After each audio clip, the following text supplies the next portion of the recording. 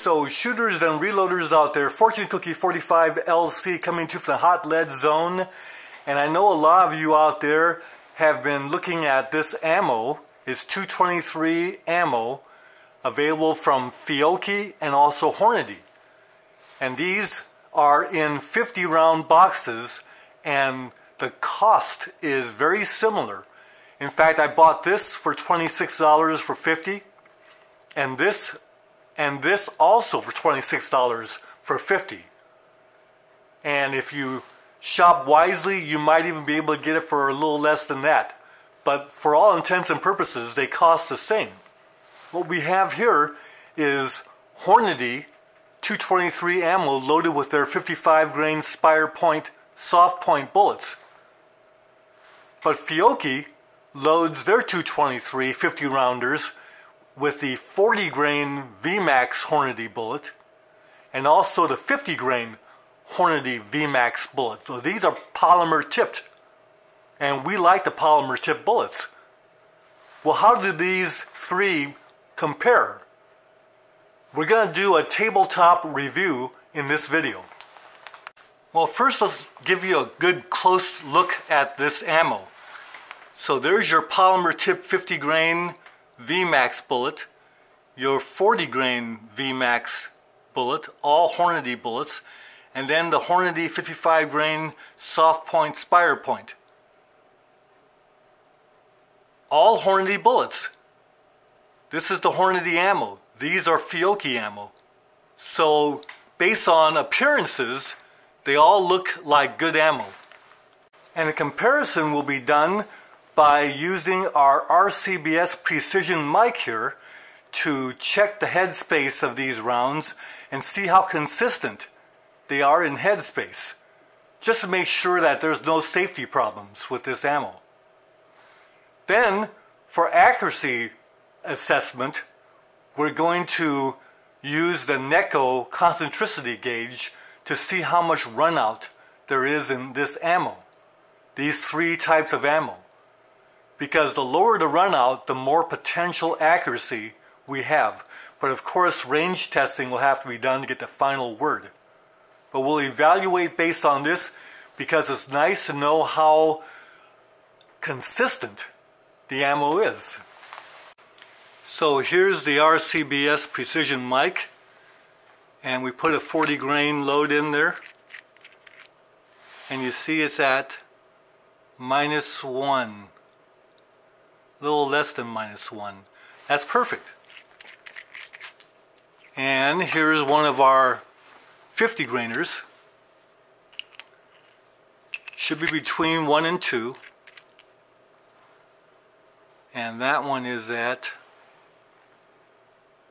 2.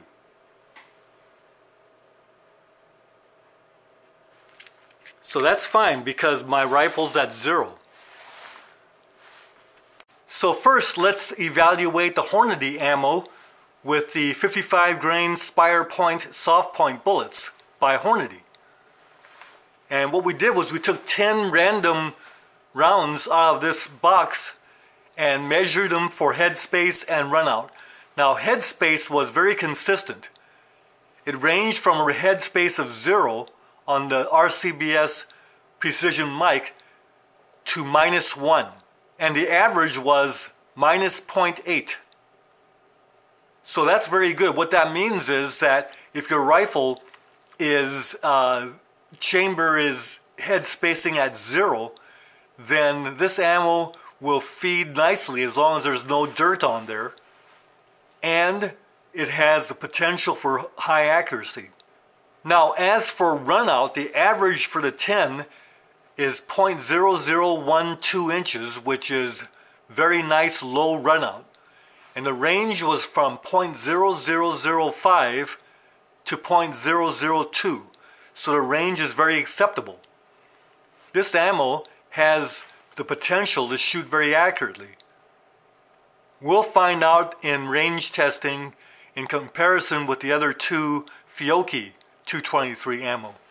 Now this is the Fiocchi with the 40 grain Hornady VMAX bullets and the headspace measurements for 10 random rounds came out to minus 1.5 is the average and the spread was from 0 to minus 3 and there was only one minus 3 there was one, only one 0 most of them were in between so it's not as if this causes uh, us to think that the accuracy might be really a problem. Certainly the rounds are safe to shoot in our 223 firearms. Now the runout though was uh, very interesting. We got from 0 to 0.001. That's the spread and the average was 0.00075, less than 1. So the runout is superb and gives us a promise of good accuracy, but again, we've got to test these in our firearm to uh, see if we get that accuracy uh, where the targets are. Now this is the Fiocchi 50 grain VMAX load and it had an average headspace measurement of minus 1.6 for the 10 random rounds. But the spread was from minus 3, which is okay. That's actually a good hunting uh, setting if your rifle's at 0. But the spread was from minus 3 to plus 1. Now plus 1 might take a little bit of, of a oomph to get the bolt closed on a bolt gun, but it's still okay. Now whether this spread causes a problem for us in terms of accuracy, again, testing will have to be done. However, the runout for 10 random rounds was really spectacular. We got 5 rounds out of 10 that measured at zero runout. And the other 5 measurements gave us a average of 0.0004 to be the low runout winner of, of these three ammo types. Again, whether that tra translates out to more accuracy, we're going to find out when we go to the range.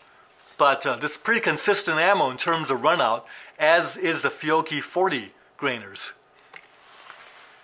The Hornady ammo gave us the lowest amount of variation with the headspace. So in other words, the brass is the most consistent with the Hornady but the runout is more consistent with the Fiocchi. So off to the range we go. Let's see how these shoot. We're going to shoot multiple groups and uh, get enough data to tell which ones of these three would be the ones we would like to acquire for our own shooting needs. Bye for now.